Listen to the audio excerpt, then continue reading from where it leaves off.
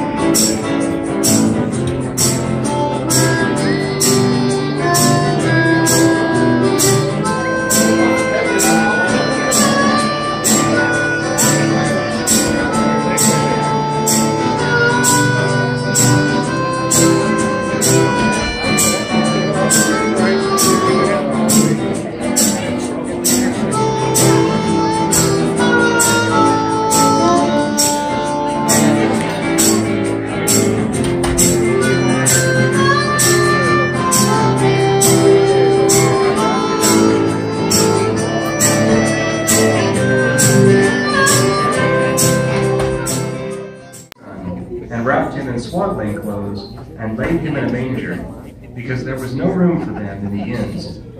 And there were in the same country shepherds abiding in the field, keeping watch over their flock by night.